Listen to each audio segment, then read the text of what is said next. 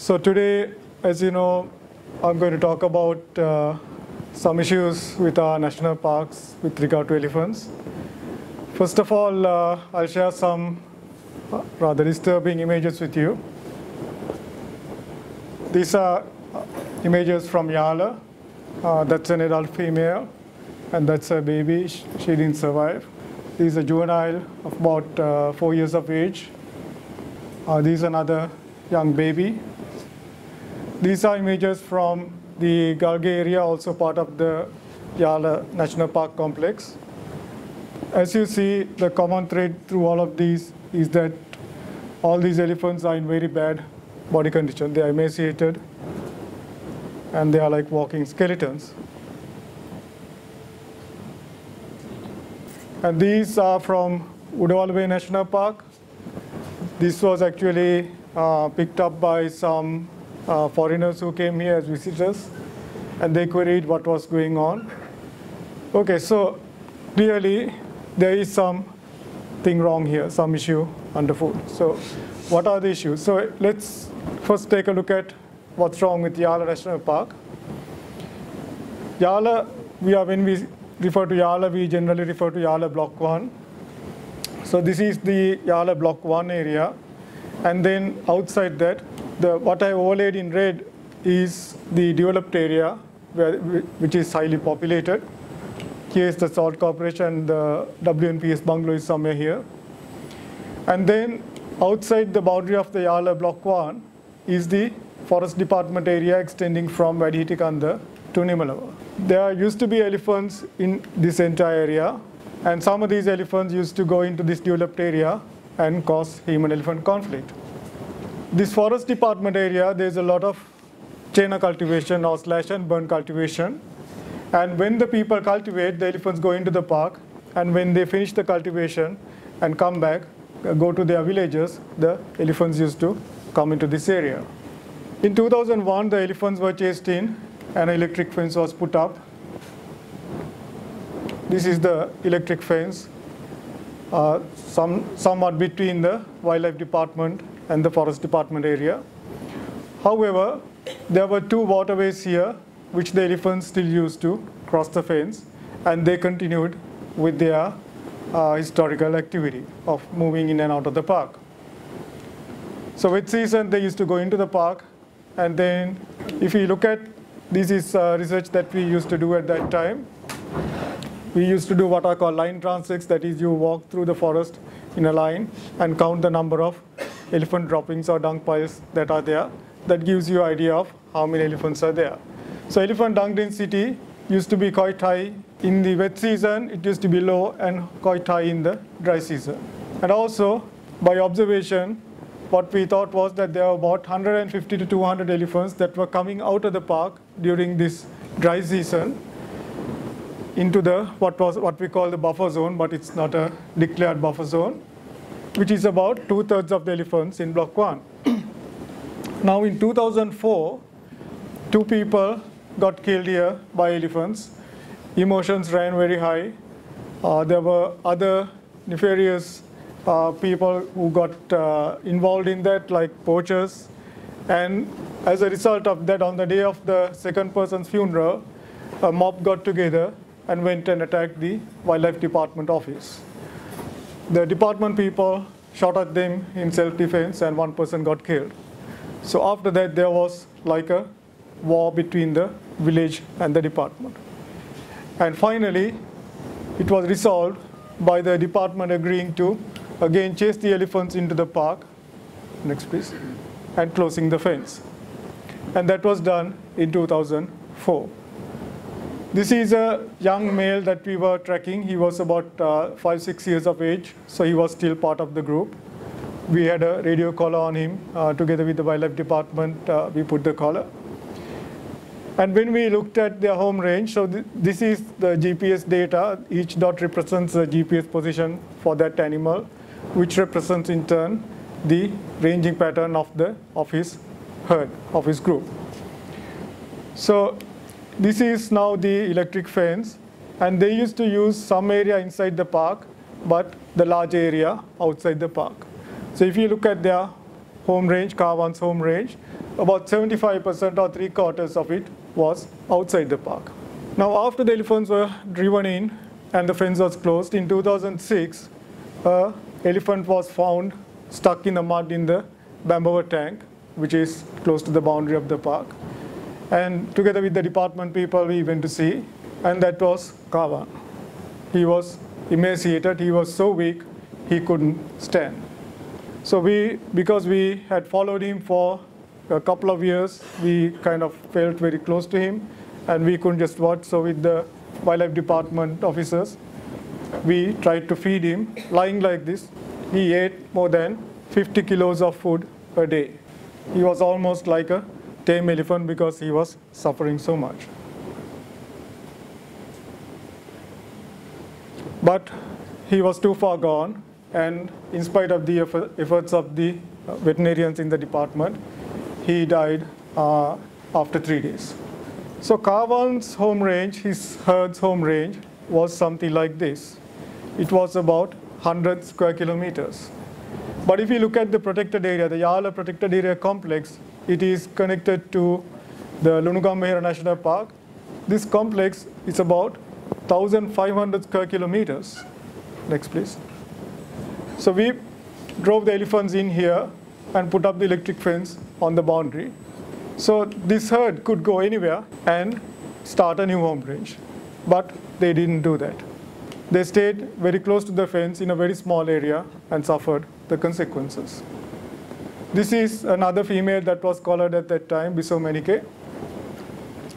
She had a home range which was about half outside the park and half inside the park. So next, same story. We put up the, drove the elephants inside, put up the electric fence on the boundary of the park.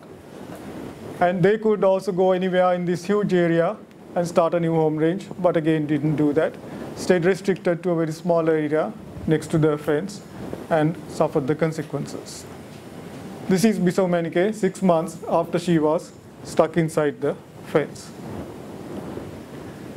She had a baby in 2005 and the baby died in 2007. That was her first baby.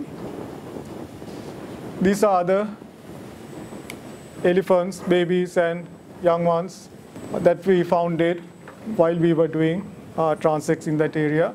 Not particularly looking for elephant uh, carcasses, but by accident, what we came across within about six months after the drive. So a number of elephants, mostly young ones, died during this period. Okay, so that was way back in 2004, 5, 6. What's the situation now? This is again now a little bit dated in 2013. So here we are comparing the body condition. The body condition is a measure of how healthy animals are. So we give a visual score. If the body condition is high, the score is from 0 to 10. If it is high, that means they are in very good health. If it is low, maybe there is a problem. So this is comparing two parks, Lunugamvehera and Yala National Park together with an outside area, that's the Walawe left bank area, that is the Hambantota area. So the elephants here, by this time, were having a lot of human-elephant conflict. They were having a lot of issues, a lot of infrastructure development. Here, the elephants did not have any human-elephant conflict. But if we compare the body condition of males or juveniles or females, in all these cases, the body condition of the animals in these two parks was much less than the animals that were outside. And if you look at the number of juveniles per adult female, which again is a measure of the reproductive activity and the health of the population, in Lunugam and Yala, the number of juveniles per adult female was less than one, which means those are declining populations. So healthy populations should have a juvenile to adult female ratio of about 1.8 to 2 juveniles per adult female. So the Walawe left bank in contrast at about 1.7. Again, then these are Bisomenike, the female that we were tracking earlier and whose first baby died, had another baby in January 2011. This is Bisomenike and the baby and he died in September 2012. So this female lost her first baby and the second baby, the two consecutive births, she lost the calf. Now this is Gamunu's group. Gamunu, as you know, I think all of you are probably uh, people who go to Yala. Gamunu you probably know personally, that big tusker who's there now. He was born and, he, and grew up inside Yala. So this group actually we have been studying from 1993, so almost more than 20 years. So we have very good information on this group. This is the group that Gamunu was originally born into. We have tracked a number of females in this herd, and this herd never ever went out of the park. Their entire home range was inside the park. But these are young ones of Gamunu's herd that have died. So this is Ramsa. Uh, he died in 2005. This is Ruchi, uh, juvenile size 5. She died in 2006. Dundee died in 2007. Minnie died in 2007. Deborah died in 2009. She was died uh, very young. Dottie died in 2011. Shorty in 2012. Rana in 2012. This is a Tusker that again you probably knew in Yala. He died in 2012. Dilini died in 2013. Mandy died in 2014. And the list goes on. In 2013, the Situlpawa priest, seeing the condition of the elephants in Yala, started a feeding program in the dry season. He basically went and dumped uh, coconut and coconut uh, fronds and some vegetable matter. And these herds feasted on that during the dry season. In 2013, if you uh, remember, was a very dry year. The monsoon failed. And the department also captured two babies from Yala and took them into the ETH. One of them died. Remo, Ruchi is the mother of the uh, that Tusker, Rana. And Remo was removed in 2014 and he's still at the ETH. Ruchi actually has lost three consecutive calves during this period. Okay, so this is the animals that were born into Gamunu's group from 1993 till 2014. The ones marked in red are all dead. So if you look at the mortality of calves born after 2002, it's 54%. It's extremely high. Now remember, this is a herd that never ever went out of the park they are suffering the effect of competition from the other herds who used to go out in the dry season and no longer can do so. The impact on those herds is much more, but we don't have such detailed data for those herds. Why is this? The buffer zone where the elephants, that, that is what the elephants were denied, is only about 5,000 hectares or 5 square kilometers. And if you look at the large protected area complex, it's only about 3% of that. How can that make such a big difference? Yala is a huge area, 1,500 square kilometers. So how can this small area of about 50 square kilometers make such a big difference?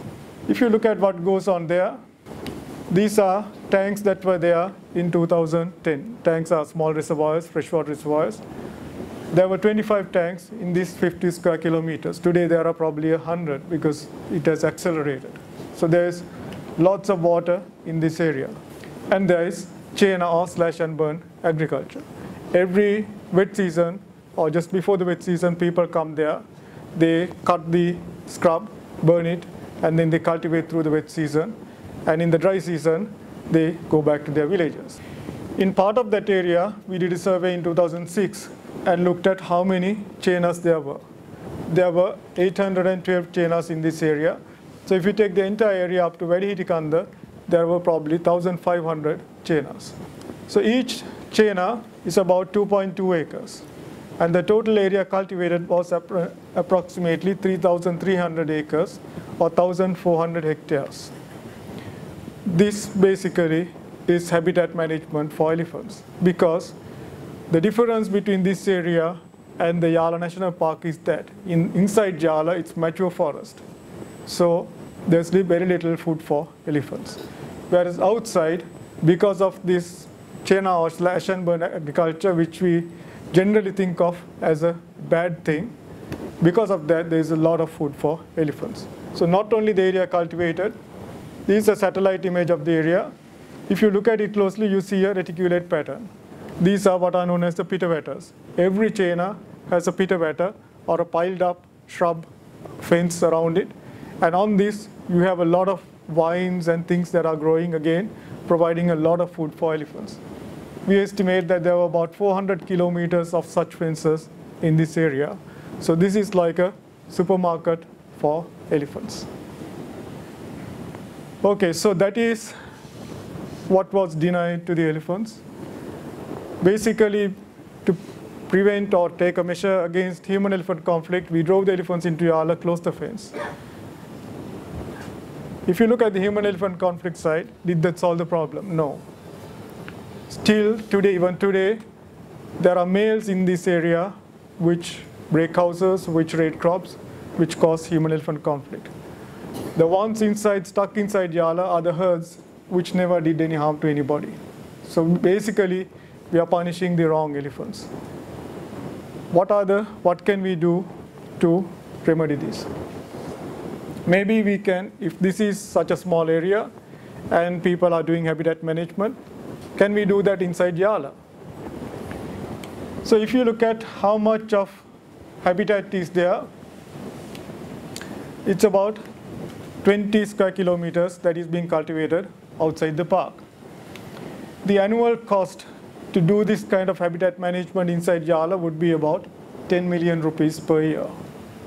And you'd have to do that every year forever.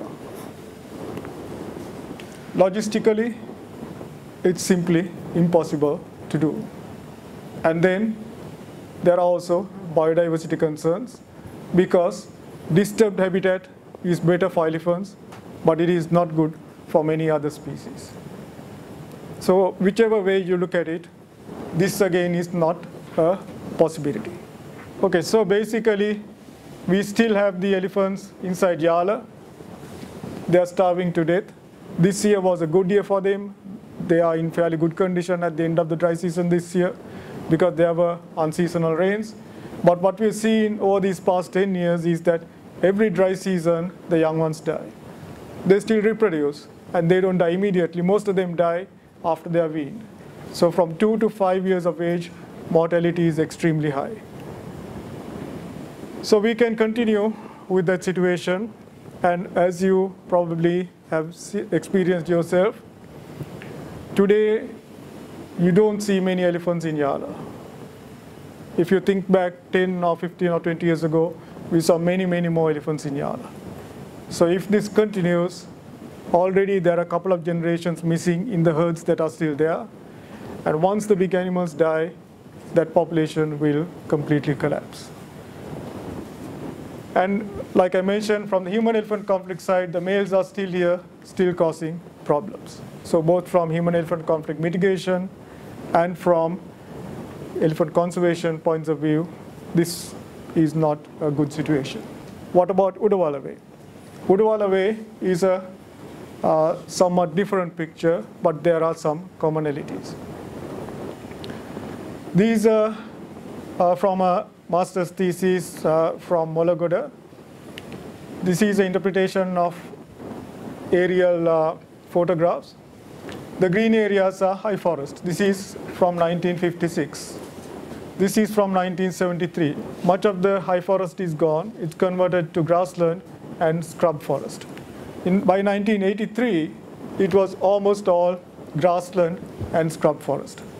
This was because of the Udawala project there was massive chena cultivation, there was massive logging that converted the high forest into savanna, grassland type of habitat. Even today, you see these giant trees in the middle of the, well, not today, but maybe five, ten years ago, you saw these giant trees in the middle of the grassland. And these are parts of the big forest that was there. When the water goes down in the reservoir, you can see the giant trees that are still standing there. This was all a huge tall canopy forest. This is an image of Udawalawe in 2006 where we were doing some transits. As far as you can see, it's all savanna type of grassland. This is panicum grass or guinea grass. The grass here, you can see it's high as a man. This is in 2010. You can see a change occurring. You can see shrubs coming up. Here again in the grassland, you can now see shrubs coming up in 2010. This is 2015. This is what you see if you go to Udawalawe now. Those of you who have visited the park 10 years ago, just think back what it was then and what it is now. It's all shrub. All the grasslands are gone. The elephants are still looking for little bits of grass that are here and there. So they still feed in the shrub, the scrub forest areas but mostly still looking for grass. Next, please. There are still bits of panicum growing among the teak and other teak uh, regrowth and other shrubs. And they search this out. But it is not enough for them. So what's happening here? These are very basic concept in ecology, what is called succession. You have something like a bare rock. Through time, changes occur because of the life that is around, because of physical factors, and ultimately, slowly, or maybe hundreds of years, maybe thousands of years, that is converted to a climax or a high forest. And grasslands are a early stage in this process of succession. This is something that happens continuously. On the other hand, disturbance takes this in the other, other way. So you start with a high forest that is there, and you cut the forest, you burn the forest, then it becomes maybe a scrub forest, becomes grasses, and if you continue the disturbance, it will ultimately end up with bare exposed land. So this process takes it the other way. So succession takes it one way, disturbance takes it the other way. So fire is a agent of disturbance. And fire was one of the main things that maintained the savanna grassland in Udawalawe National Park. But of course, as for management, generally we think fire is a bad thing, burns the forest, kills a lot of little things, so we should stop fire. So there's been active fire suppression in this area. But what happens is grasses are adapted to fire. So if there's fire, the grasses burn quickly, the fire is not very hot, and with the next rains, it regenerates. In fact, many of these fires were set by cattle herders because that also provided a lot of luscious, lush grass for cattle. But Udawalawe, there are additional issues. There were very large numbers of cattle. And panicum grass is no very well known to be susceptible to overgrazing. There are also other confounding factors like lantana, which is taking over some of the grassland. But if you see now, lantana is also getting shaded out. And if this process goes on in Udawalawe, in another 25 years, 50 years, another 100 years, there'll again be a tall forest. The issue is that's not good for elephants. So these are the electric fences around the Udawalawe National Park. These are elephant corridor that connects with the Lunugamvehera National Park and in the Yala Park complex. So these electric fences are already in place. The electric fences are what's keeping the elephants inside the park.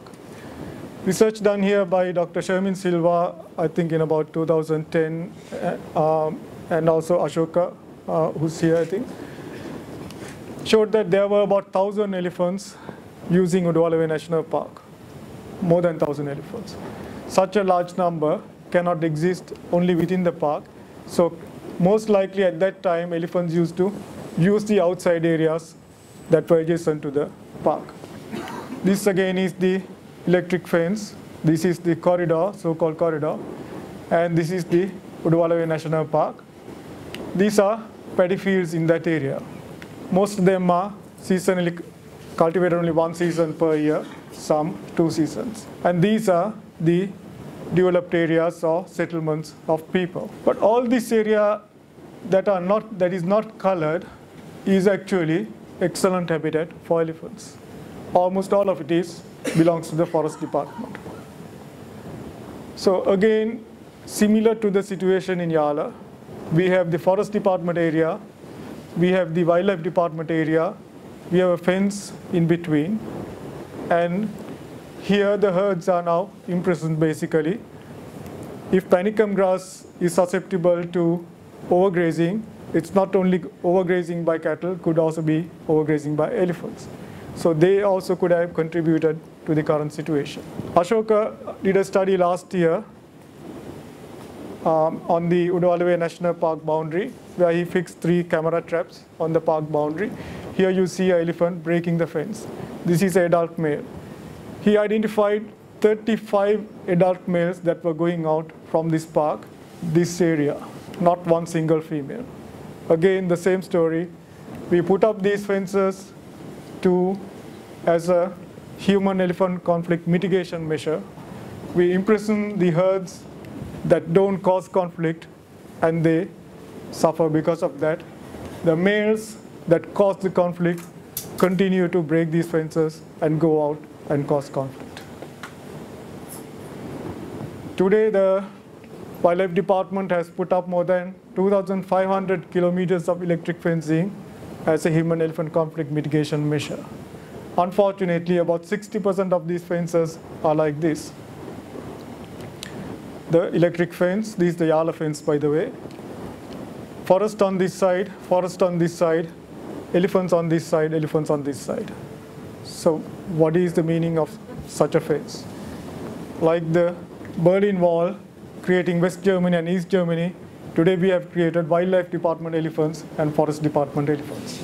So if you take the case of Udawalawe, uh, there is a lot of habitat in this area that elephants could use that the herds are now denied. So that is the problem in Udawalawe. What can we do? It's not, none of these issues are simple issues. They are very complicated. There are a lot of uh, emotions involved. There's a lot of politics, economic factors. So the problem is that we have put up the electric fence on the boundary of the national park, whereas elephants don't know about this. There's a lot of elephant habitat still outside, which they could use, which is now denied to them. How, can we convert this back to grassland? Again, there are, I couldn't say, no one can really say how you can do that just like that. You probably cannot do it just like that. But once this was high forest, now it is scrub forest. This high forest did get turned into savanna grassland, which was excellent for elephants. It should be possible to convert this back to grassland, but we need to study this and figure out how to do it. There are a lot of number of factors, the elephants, the buffaloes, the cattle, the lantana, the fire, all these have different effects. So the only way to figure that out would be to study that and figure out how we can do that. And in the meantime, the only short-term thing that we could potentially do is allow these herds to, again, go out of the park. But easily said than done, because if you say you, you want to remove any of these fences, this fence is in the correct place, this is all developed area, but these fences are all within elephant habitat. If you say you want to remove one of these fences, there will be massive protests. So it's not a, there are no easy solutions. And, uh, but these are things I think that we need to discuss and take policy decisions at the highest level. That is the only way that we can address this problem. It's the wildlife department by itself cannot decide to take down any of these fences. They would not be allowed to do that by the people. For more than 60 years, we have tried to mitigate the human-elephant conflict by pushing the elephants into the national parks under the wildlife department. This is where the elephants are today. More than 70% of elephant range and elephants are still outside the parks. But if we keep doing this, chasing the herds inside and fencing them in, we will turn our national parks into concentration camps for elephants. Thank you.